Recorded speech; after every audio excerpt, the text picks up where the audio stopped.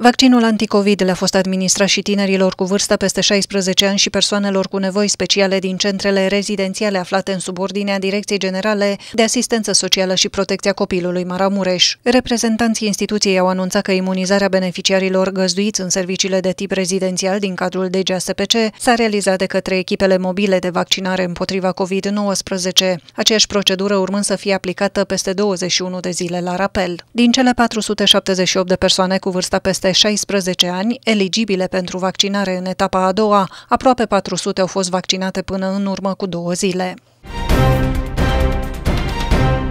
Unirea Principatelor Române a fost celebrată la Muzeul Județean de Istorie și Arheologie Marau-Mureș din Baia Mare. Manifestarea a cuprins comunicări susținute de dr. Ioan Botiș, muzeograf, dr. Viorel Rusu, directorul instituției și conferențiar universitar dr. Ștefan Ghenții. Temele au fost uh, contextul internațional al Unirii din 1859, reformele lui Alexandru Ioan Cuza și leadership-ul Unirii. Comunicările vor putea fi vizionate pe pagina de Facebook a Muzeului Județean de Istorie și Arheologie Maramureș, duminică duminică 24 ianuarie.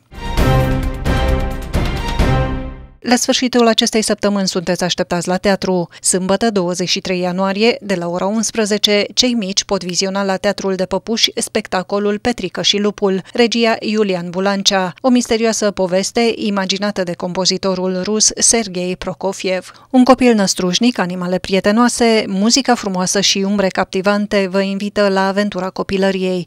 Cum să-ți învingi frica? Duminică 24 ianuarie, de la ora 19, se va juca spectacolul Nevrozele sexuale ale părinților noștri, de Lucas Barfus, regia artistică Tudor Dreve.